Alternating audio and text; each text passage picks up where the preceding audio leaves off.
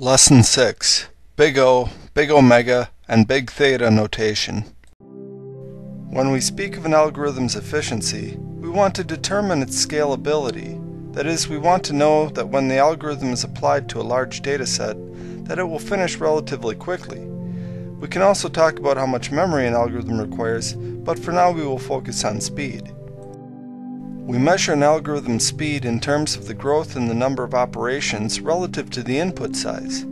For the linear and binary search algorithms, for example, the input size is the number of elements that we are searching. Typically, we will use the letter n to represent an unknown input size, and we will talk about the growth in terms of n. To formalize our ideas of growth, there are three types of bounds that we will address here big O, big omega, and big theta.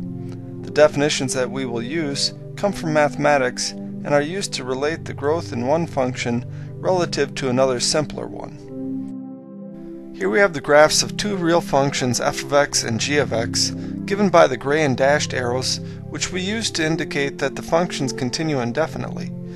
The function f of x is more complex and we want to measure its growth in terms of the simpler function g of x. More specifically, we want to find a constant such that when we multiply it by the function g of x, it will bound the function f of x above from some point onward. Assuming that the graph of f of x does not intersect the graph of c times g of x after the point x0, we know that the graph of f of x remains in this white region for all x to the right of x0. In this case, we say that f of x is in big O of g of x. Formally, we say that f of x is in big O of g of x if there exist positive constants c and x0 such that f of x is less than or equal to c times g of x for all x greater than x0. On the other hand, we could bound the function f of x from below, like this. If such a constant exists such that c times g of x bounds f of x below from some point onward, then we say that f of x is in big omega of g of x. Formally, f of x is in big omega of g of x if there exist positive constants c and x0 such that f of x is greater than or equal to c times g of x for all x greater than or equal to x0. There are constants such that g of x bounds the function f of x both from below and above, then we say that f of x is in big theta of g of x. Of course, the constants in this case are different, so we have labeled them c1 and c2 to clarify that.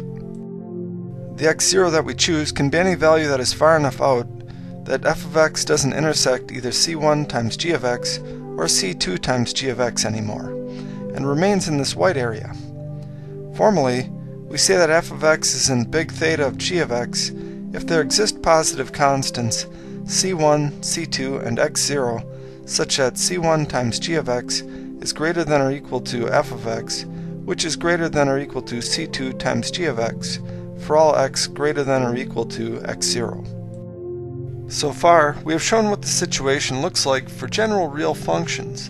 For algorithms, the input size is generally a positive integer like the size of an array for a sorting algorithm.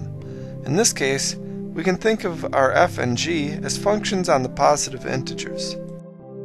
In mathematics, x is used to signify a real variable, while n is used to signify an integer variable.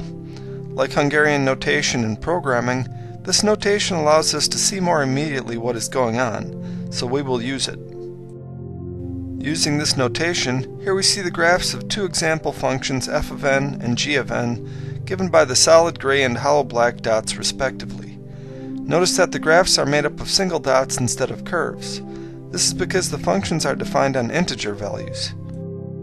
Just as we had for the real functions, we can have constants such that when we multiply g of n by them, we bound f of n from some point onward, and the definitions are analogous.